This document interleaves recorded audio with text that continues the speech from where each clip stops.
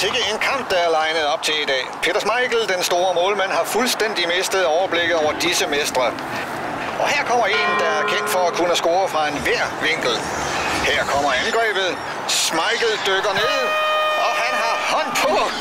En lidt rodet afslutning, men det bæst har også ry for at takle bagfra. Hvis Schmeichel har tænkt sig at vinde, så må han virkelig ikke slippe kuglerne af syne. Det gælder om at holde koncentrationen her. Ej, jeg ved ikke lige, hvad man skal kalde det der, men det ser ikke helt stuerent ud. Ja, ja, selv som professionel, så kan man jo godt ende i en beskidt kamp. Nogen skal jo redde dagen.